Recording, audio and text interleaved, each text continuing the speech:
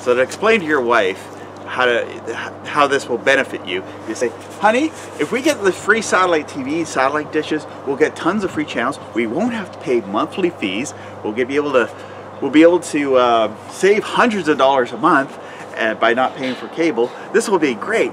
Th these things here, they're not ugly at all. They're absolutely beautiful. They're beautiful satellite dishes. They're amazing. They pull in free satellite TV channels.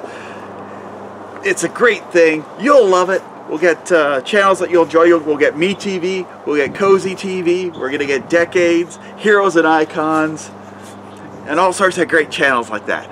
Okay, okay, stop yelling at me. Stop yelling at me. The neighbors are going to hear. Stop yelling at me. It's just one more satellite dish. It's just one more satellite dish.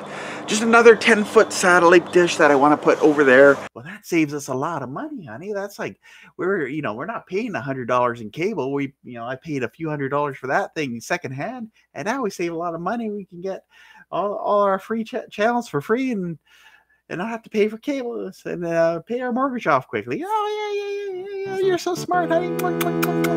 It'll be great. It'll be great. It'll, uh, it'll, it'll work even better than my eight footer.